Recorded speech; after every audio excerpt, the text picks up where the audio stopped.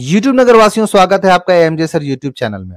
आज की क्लास शुरू करने से पहले मैं आपको एक कविता सुनाना चाहूँगा। पूरा दिन जब दिल लगाकर कक्षा में हम पढ़ते हैं, फिर भी टीचर रोज हमें होमवर्क क्यों देते हैं? सूरज चढ़ने से पहले ही मम्मी हमें जगाती हैं, बचा हुआ जो होमवर्क होकर लेने को कहती हैं। स्कूल में टीचर लेक्चर देते, समझ में कुछ ना आता है। घर में कॉपियाँ रटते रटते रट रट सिर दुख जाता है। घर में मम्मी पापा ने भी ट्यूटर का प्रबंध किया। ऊपर से इस होमवर्क ने शाम का खेल भी बंद किया। ये होमवर्क नाम की कविता बताती है कैसे बच्चों को सिर्फ़ और सिर्फ़ कोसी पढ़ाया जाता है। उन्हें बाहर की दुनिया से रूबरू होने का मौका तक नहीं दिया जाता। कुछ एक्स्ट्रा कहाँ से पढ़ेंगे? कैसे जानेंगे? हमारे चैनल पे आपको वही कुछ एक्स्ट्रा मिलेगा, कुछ अलग मिलेगा, जो उनका सर्वांगीण विकास करने में सहायक होगा। आज का सवाल है, छह लिखो छह बार, उत्तर आए तीन हज़ार। सीधे हल पे आते हैं।